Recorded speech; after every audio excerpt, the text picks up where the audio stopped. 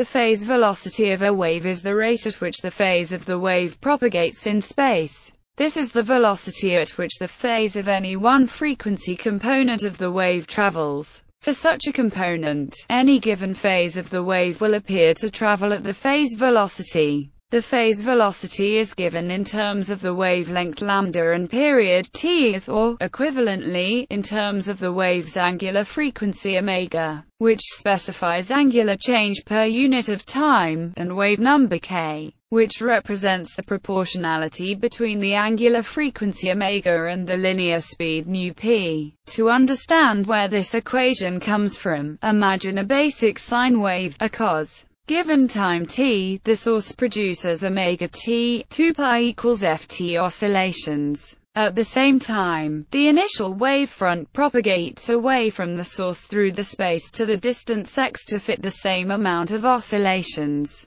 Kx equals omega t so that the propagation velocity v is v equals x, t equals omega, k. The wave propagates faster when higher frequency oscillations are distributed less densely in space. Formally, phi equals kx minus omega t is the phase since omega equals minus d phi dt and k equals plus d phi dx, the wave velocity is v equals dx, dt equals omega k. Relation to group velocity, refractive index and transmission speed. Since a pure sine wave cannot convey any information, some change in amplitude or frequency, known as modulation, is required. By combining two sines with slightly different frequencies and wavelengths, the amplitude becomes a sinusoid with phase speed delta omega, delta k. It is this modulation that represents the signal content.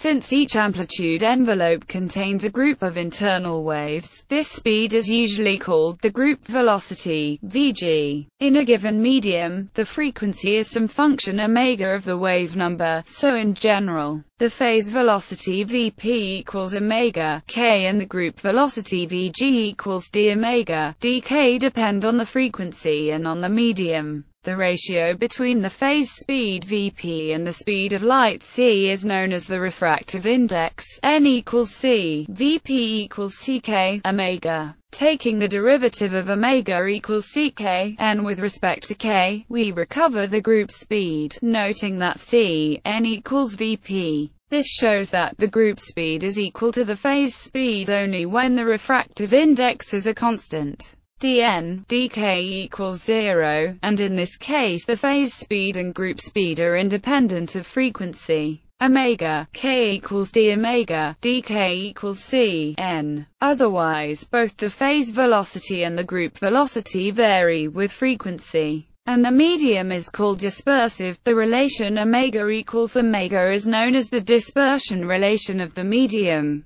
The phase velocity of electromagnetic radiation may, under certain circumstances, exceed the speed of light in a vacuum, but this does not indicate any superluminal information or energy transfer. It was theoretically described by physicists such as Arnold Sommerfeld and Elie Coutu and Brillouin. See dispersion for a full discussion of wave velocities.